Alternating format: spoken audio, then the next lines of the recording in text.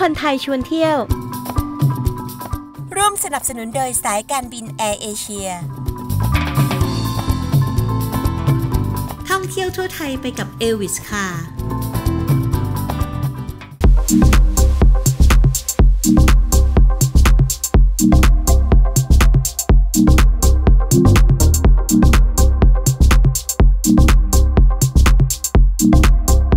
หลังจากที่เราลงเครื่อง จากแอร์เอเชียมาลงที่นครพนม เราก็มาหารถเช่าที่จะขับไปทำบุญแล้วก็ทำกิจกรรมต่างๆ กับเอวิสค่ะ มั่นใจทุกการเดินทางค่ะเพราะว่าเอวิสมีประกันให้ตลอดการเดินทางเลยทั่วประเทศค่ะ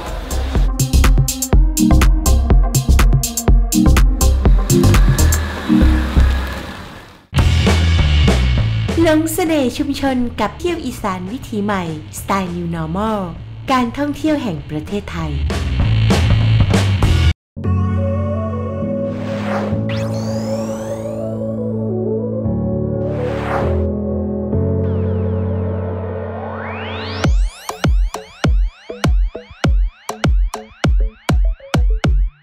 พระธาตุพนมเป็นพระธาตุประจำปีเกิดของคนเกิดปีวอกและคนเกิดวันอาทิตย์นะคะ มีอายุเก่าแก่เป็นพันปีแล้วค่ะ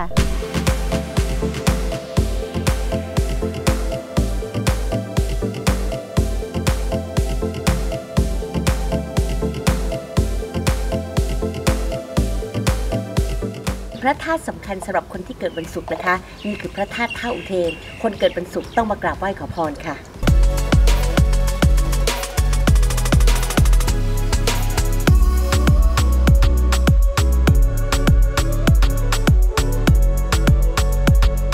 และตอนนี้มาถึงแลนด์มาร์คของจังหวัดนครพนมค่ะ สัตตนาคราช ที่นี่เป็นอะไรที่เรียกว่ามาถึงแล้วต้องมาขอพรท่านค่ะ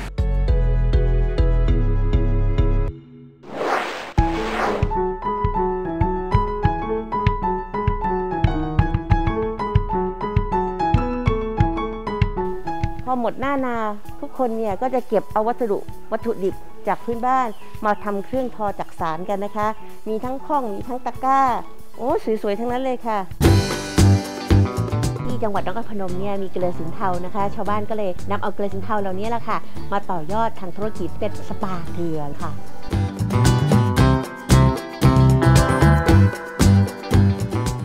ที่ยวที่จังหวัดนครพนมแล้วก็อย่าลืมมาแวะที่บ้านนาถอนนะคะ มาดูชีวิตชนเผ่าไทยกวน มาซื้อสินค้าโอท็อปมีดพล้าด้ามจอบ แล้วก็มานอนสปาเกลือแบบสบายๆค่ะ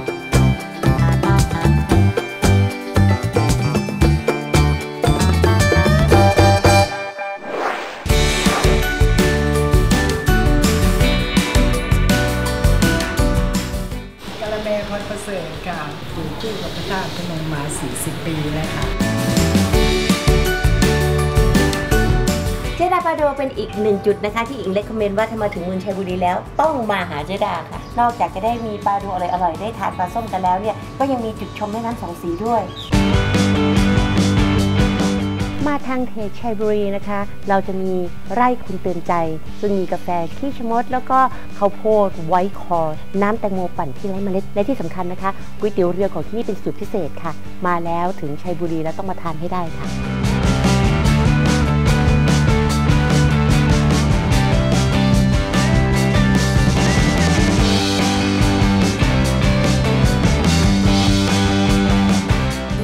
านที่ชิลๆสำหรับคนรุ่นใหม่และคนรุ่นเก่าที่อยากจะมีที่ถ่ายรูปสวยๆ ต้องที่นี่เลยค่ะ The Jungle Space ค่ะ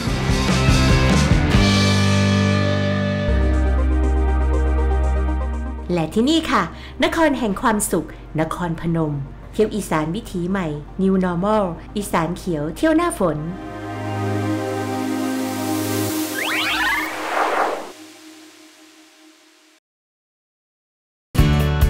นับสนุนโดย การท่องเที่ยวแห่งประเทศไทย ชวนคุณคิดถึงชุมชนที่รัก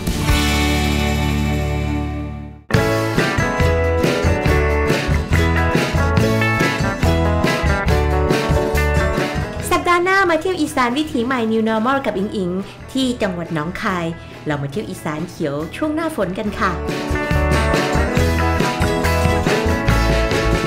อีสานเขียวเที่ยวหน้าฝน สนุกอย่าบอกใครห้ามพลาด